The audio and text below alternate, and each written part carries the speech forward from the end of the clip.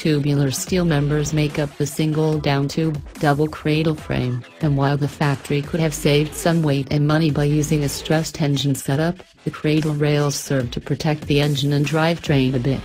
That's good news for a bike meant to tackle terrain. Suspension components at both ends of the bike come with adjustable preload, a fact that cracks me up just a bit considering how many of the big name manufacturers act like any sort of adjustment feature on the front forks will be cost prohibitive.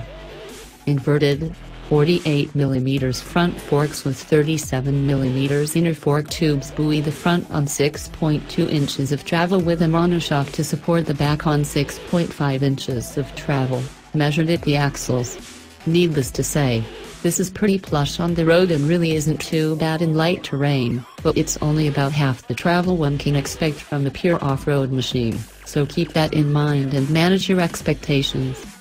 A single, 265mm front disc and 220mm rear works with a twin pot anchors to control the 309-pound wet weight.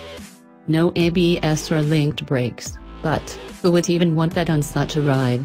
Anyway, a 21-inch, laced front wheel leads the way for some true, terrain-busting capability with an 18-incher in back, and both ends come with gnarly street knobbies that are meant to be dual-surface capable, but obviously come with an emphasis on soft surface traction.